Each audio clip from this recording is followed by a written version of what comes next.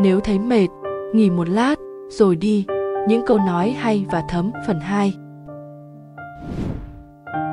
trước kia cứ nghĩ, trưởng thành là từng ngày lớn lên. Sau này mới hiểu, trưởng thành là khi cả bầu trời sụp đổ trước mắt, cũng vẫn không thể khóc như một đứa trẻ con được nữa. Dấu hiệu của tuổi già, về tới nhà là không muốn đi đâu nữa. Đi chơi 9 giờ đã muốn về nhà, đến quán cà phê hay địa điểm đẹp không còn muốn chụp ảnh nữa.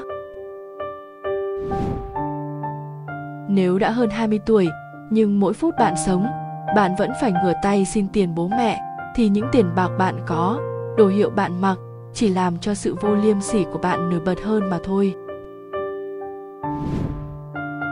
Con người ta vẫn luôn tìm kiếm những hạnh phúc xa vời, mà đôi khi quên mất thứ hạnh phúc to lớn ở ngay bên cạnh. Đó chính là có một gia đình, có cha, có mẹ.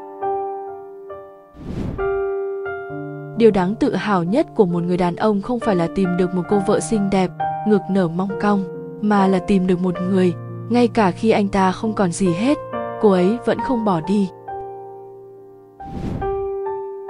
Học cái tốt thì khó, ví như người ta leo núi, phải vất vả, khó nhọc mới lên đến đỉnh.